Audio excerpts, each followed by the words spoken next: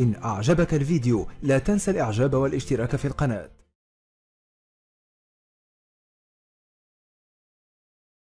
الشيخ حميد الأحمر. شيخ حميد نريد أن تحدثنا عن رحلتك في عالم التجارة والاقتصاد وما هو موقفك من القبيلة والسلطة؟ آه، طبعا يا سيدي الفاضل آه، عندما كنت في الإعدادية آه، كان معي صندقة.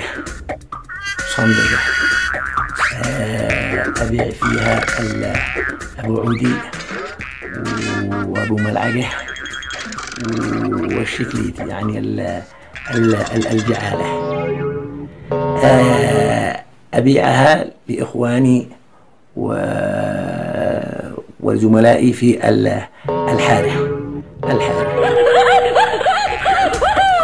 وأتذكر آه، في ال- الثمانينات آه، أرسلني ال- الوالد مع أحد آه، أخواني الصغار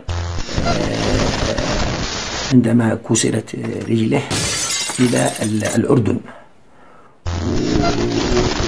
وفي الأردن لفت نظري ال- الشمة الشمة.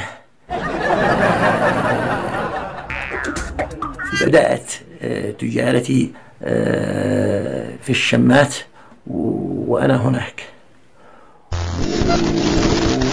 بعدين توالت رح- رحلاتي آه، من دو من طائرة إلى طائرة ومن سفينة إلى سفينة. ومن دولة إلى دولة. آه، حتى أنهم كانوا يلقبوني ال- ال- ال- السندباد. السندباد.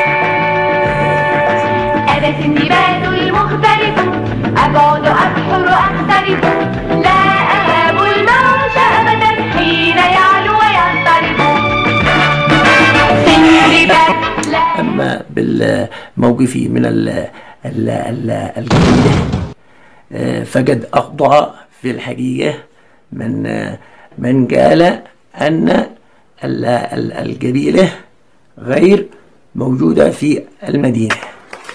وأنا أرد عليه من جانبي وأقول القبيلة هي المدينة في غياب الدولة. هي المدينة في غياب الدولة.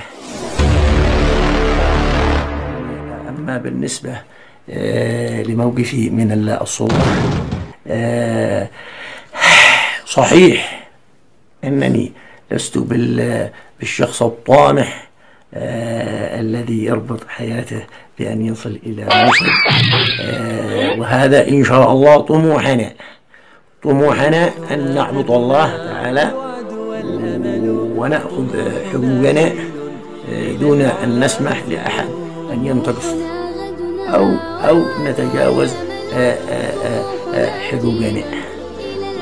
وهذا هو موقفنا. وشكرا. والسلام عليكم ورحمة الله. وبركاته